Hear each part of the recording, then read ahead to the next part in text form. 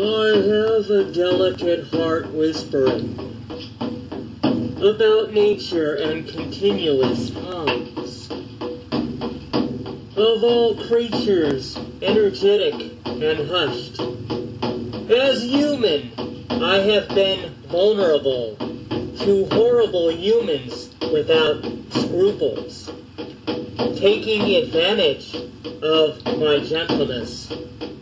Animals reciprocate with kindness. That is why I prefer their company, opposed to the unprincipled people.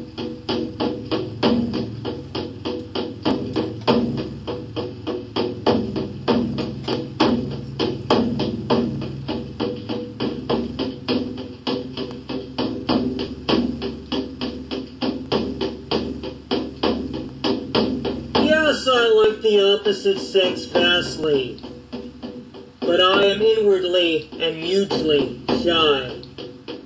From being burnt on various junctures, through time, many ladies have come and gone. Most were firework sparkles flickering, without any real practical value.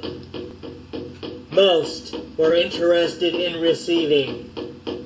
Most were obsessed by their excessive pride, cruel to those they felt were inferior.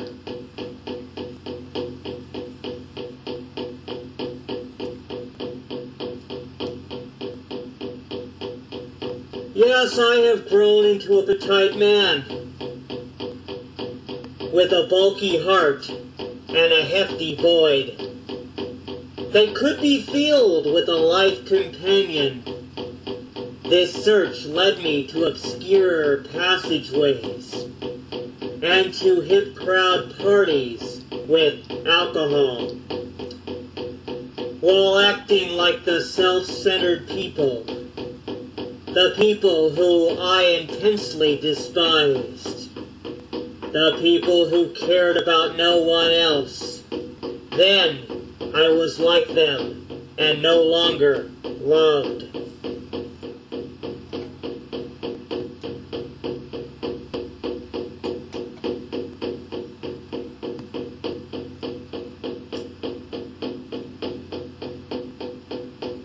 Then I discovered what I had become. I could not love unconditionally.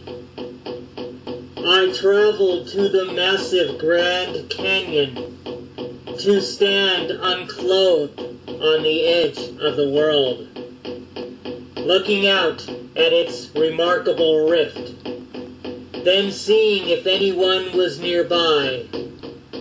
But there was no one but the earth and sky.